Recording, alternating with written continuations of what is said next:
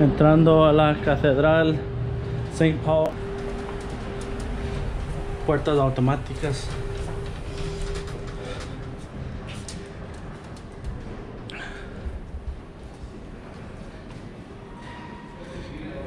para entrar estoy leyendo aquí. Doña, do you have cash? Doña, do you have cash? I have Para donación. I díselo if you're gonna pray with them, Pero en 25 libras. the cathedral there is no public Vamos a vamos a ir al Chapo. Al Chapo. Vamos a ir a orar tantito y ya. Porque aquí 25 dólares. 25 no, son 30. The building on your left there, most famous of course for being a place of imprisonment, torture and execution. Very famous people executed in the Tower of London that include Guy Fawkes, Sir Walter Raleigh, Anne Boleyn and of course Mel Gibson.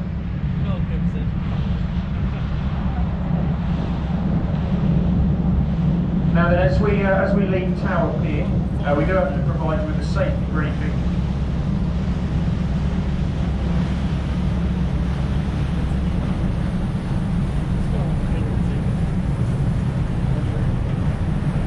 Y es que en el video queda hablando él y es escuchando.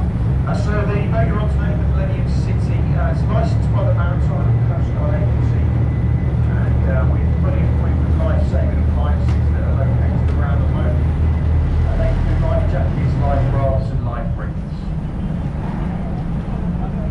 Uh, we've got a VHF radio on board, which allows us to communicate with all the boats you see on the river today, as well as the Port of London authorities and emergency services. In the highly unlikely case of an emergency, just remain calm, seated, and listen your instructions. We're licensed and we're trained to be out here today, so you're in very safe hands. Uh, but if that has alarmed anyone, uh, the good news for you is we do have a fully licensed bar downstairs. It should help calm any nerves.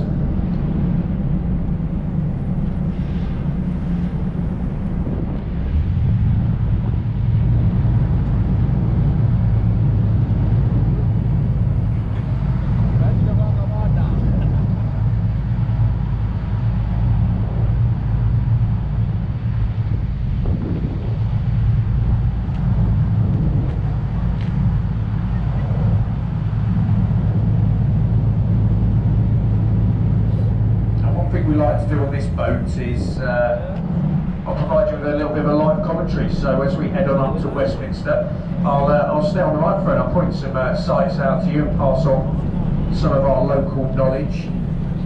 All right. So I must point out that there is a company provided audio guide uh, that we're supposed to mention to you. It's uh, available to download. Do that using the QR code on the leaflets, and it's done in 13 different languages, and it goes straight to your phone. Uh, but we do get a lot better feedback from just picking up the microphone and actually talking to you. Uh, word of warning though, we're not tour guides on these boats, okay? We are members of the crew. Uh, the captain and myself, our, our job is to get you off the river safely uh, this afternoon. That's what we're here to do. Okay, so bearing that in mind, if I get anything wrong, please keep it to yourself. It's very embarrassing for me.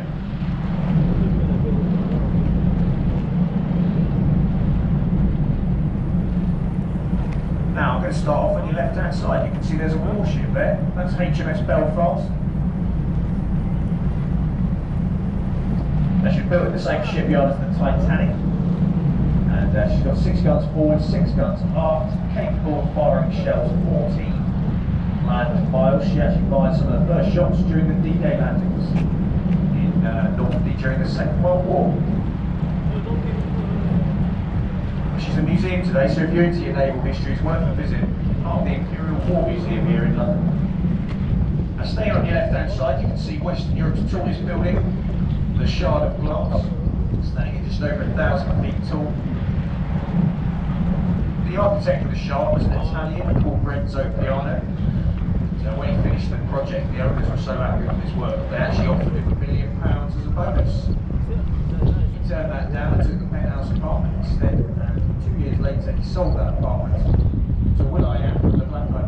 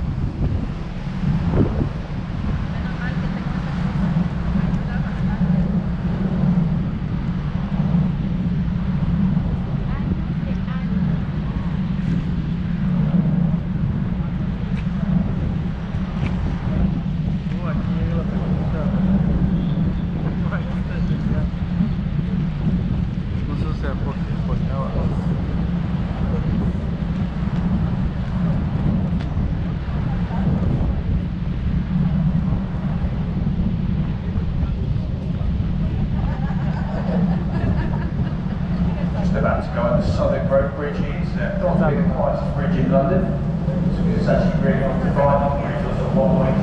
Uh,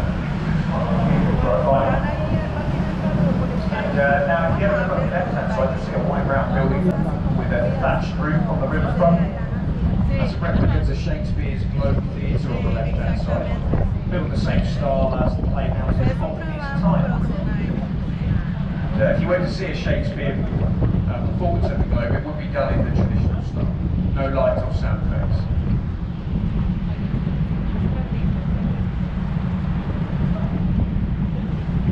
If you went to watch a performance at the Globe Theatre during the time of Shakespeare, and uh, you were in the cheap tickets there, in the standing section in the middle, uh, the ticket would have cost you about one penny uh, back then. And uh, someone would have been going round to collect uh, the money from the standing area. And they used to go around with a ceramic box to collect the penny. At the end of the show, the box would be taken, taken to an office, which was known as the box office, where they counted the, uh, the money. And that is where we get the same box office from today.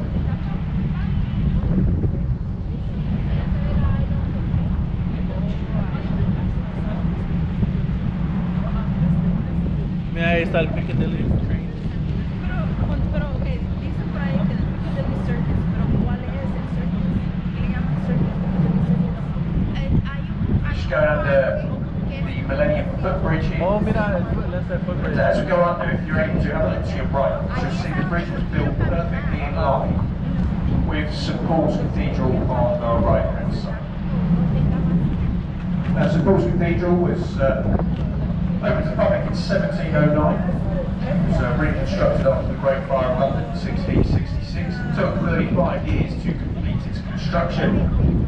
Designed by Sir Christopher Wren, the dome that you can see is the second largest unsupported dome in Europe. Largest being at the Vatican. Just passing the Tate Modern on your left hand side.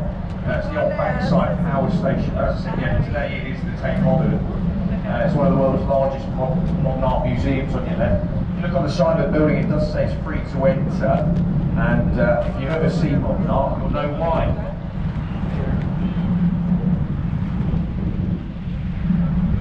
I'm only Creo que joking, acá of course. está Now, a lot of London's el- museums are free to visit if you weren't.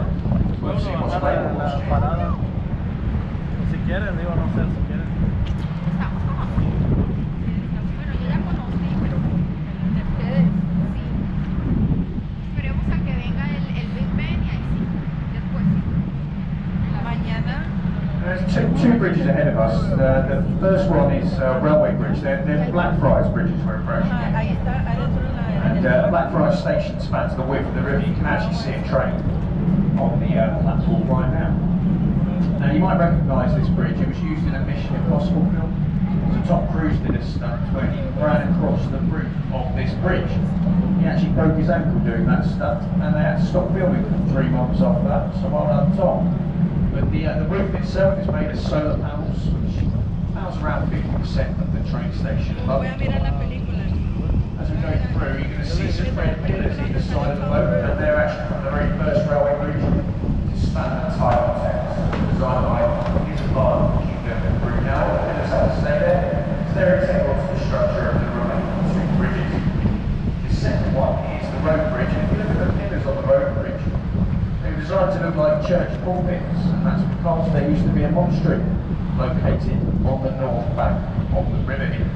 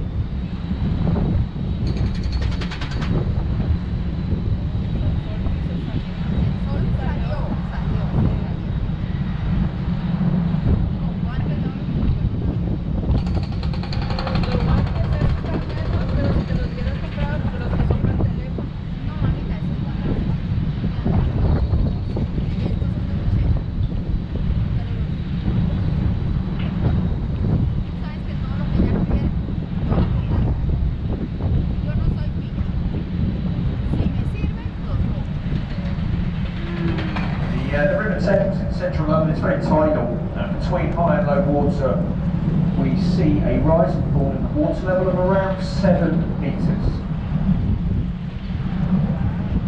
We're currently experiencing incoming flood tide, so we're heading towards high water at the moment. And if you look at the wall on the right hand side, you'll see a sort of dark green line towards the top of the wall.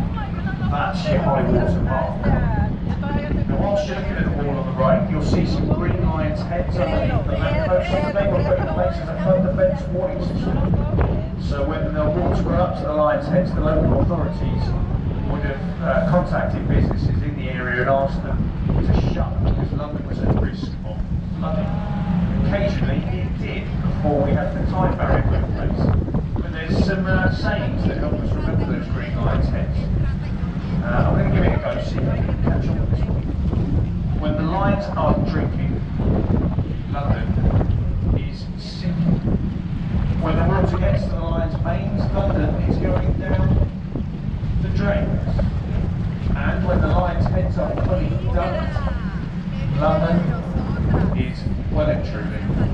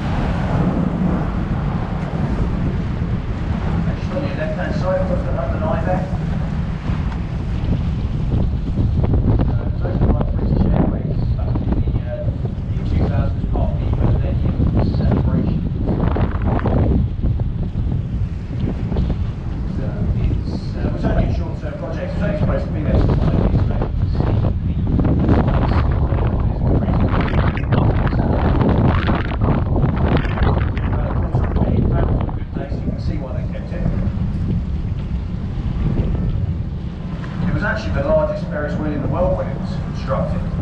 Due to its success, though, other cities have followed suit and built big amongst its fan pick on the list today. 32 pods on board the London Eye It's not a random number, that is to represent the 32 boroughs of London. Right, here now you can actually see all 32 boroughs at the top, so it's said to be the eye that oversees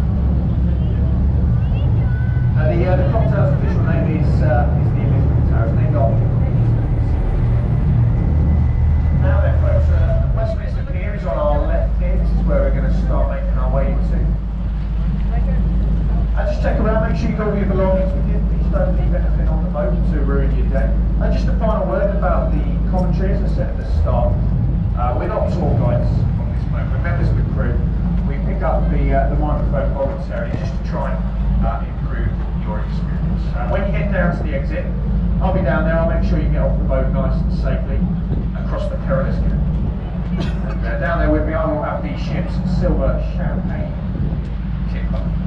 Uh, if you've enjoyed the few words I've said today, you'd like to show your appreciation, you're welcome to throw a few bob in our uh, tip bucket at the exit. That just helps keep us crews uh, doing these guys on the river for future. But whatever the outcome, I really hope you've enjoyed it this afternoon. Have a great time in London, folks, whatever you're doing uh, today. And uh, we'll see you again very soon. Thank you very much.